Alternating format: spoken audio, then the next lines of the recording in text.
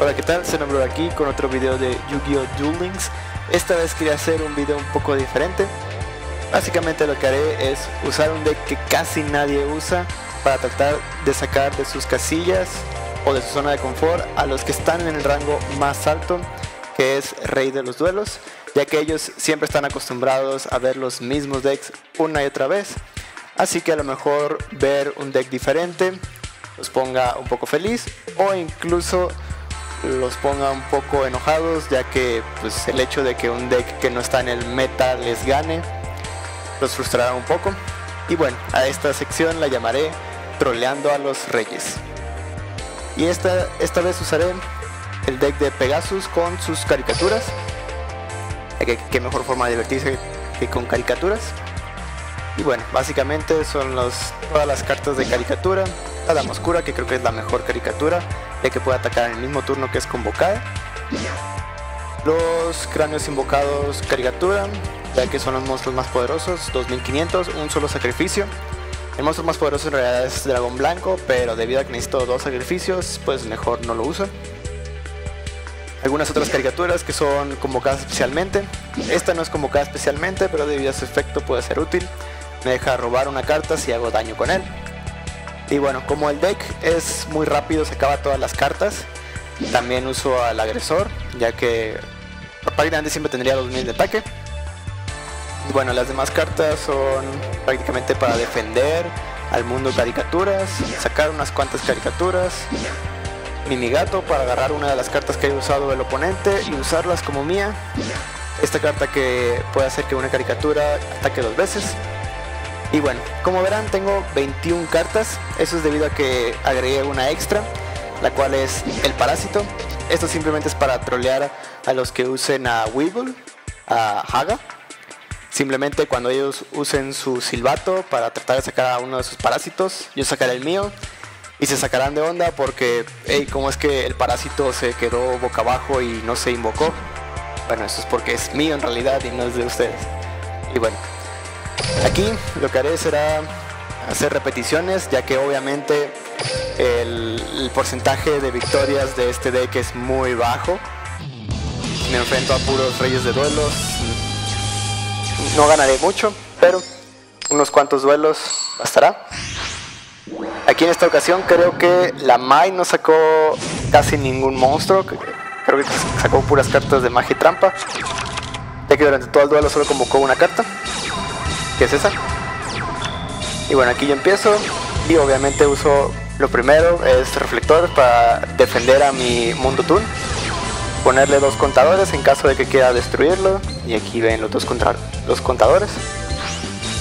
Y aquí uso mi tablero para sacar la repetición tool.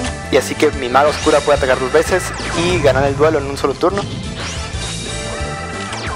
Por desgracia usó su controlador Aquí lo que yo pensé que, haría sería ponerme en modo de defensa, atacarme con su Jerry y destruirme. Pero por alguna razón sacrificó a su Jerry, agarró a mi maga y terminó el turno. Entonces no, no sé qué, pasó ahí, no sé si se equivocó o qué. Pero bueno, yo dije, ah, ok. No convocó nada, entonces ahí se me hizo lo más raro. Pensé que tenía algún plan o algo así. Pero bueno, seguí. Convoqué, usé mi repetición Toon obviamente me puse en modo defensa, no hay problema. Sigo sin entender por qué sacrificó a su otro monstruo teniendo tantas defensas. Ahora sí, ahí aquí simplemente dejé a mi a mi sirena en defensa porque pensé que iba a ser una atacua. Entonces dije, ah, mejor dejo uno en defensa. Y bueno, le bajé y no hizo nada otra vez y juego. No sé si la persona me dejó ganar o simplemente tuvo muy mala suerte y cliqueó algo mal. Pero, bueno, así fue el duelo. Luego este va a ser contra los hermanos Paradoja.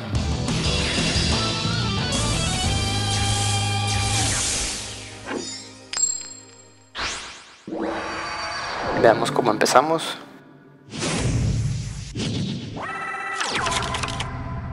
Empezamos con otra tabla.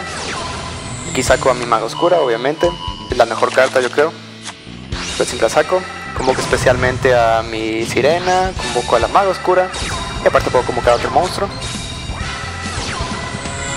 Ellos empiezan con su degradación. convocan al dragón cañón. Por suerte no me lo destruyen. Y cuando ataca, obviamente uso mi efecto. Listo, lo pongo en defensa. Y ahora convoco a mi otro Toon. Ataco directamente con la maga. Eso hará que ya no pueda usar degradación. Pongo en defensa. Uso otra vez el efecto para destruir a mi otro Toon. Aquí, por suerte, eh, si me destruía uno, el otro todavía podía atacar directamente. Entonces, a fuerzas tenía que sacar este tiro de monedas, destruirme a uno y con su ataque destruirme al otro. Por desgracia no pudo hacerlo.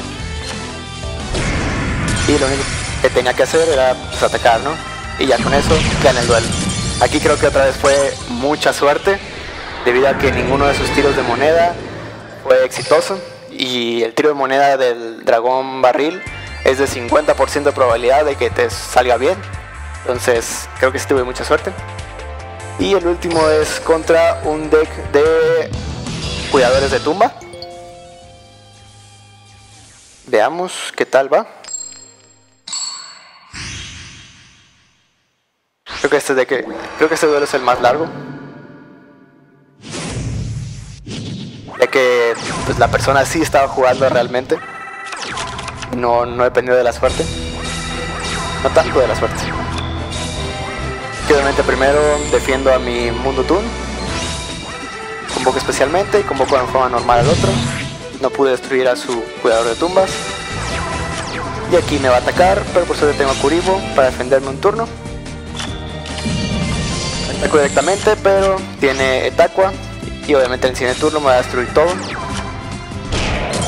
Aquí no logro entender por qué puse en modo de defensa esta carta si no tengo nada boca abajo.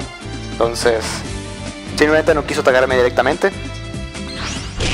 Y bueno, destruye todo. Aquí por suerte saco a la Dama Oscura, entonces elijo destruir a uno de sus monstruos usando intercambio de almas. Obviamente no destruyo ni al invocador ni al reclutador, debido a que si los destruyo se activarán sus efectos, ya que no, no es por destruirlos en batalla, sino es simplemente del campo al cementerio. Así que decidí mejor agarrar al asaltante, además que tiene mis asesinos de ataque y defensa, creo que es su carta más poderosa en el momento. Con eso convoco a mi maga oscura y uso mi migato también para agarrar a su etaqua. Este tener alguna defensa. Desgraciadamente, como usé intercambio de almas, no puedo atacar en ese turno. Pues tengo que esperarme ataco y usa su orbe.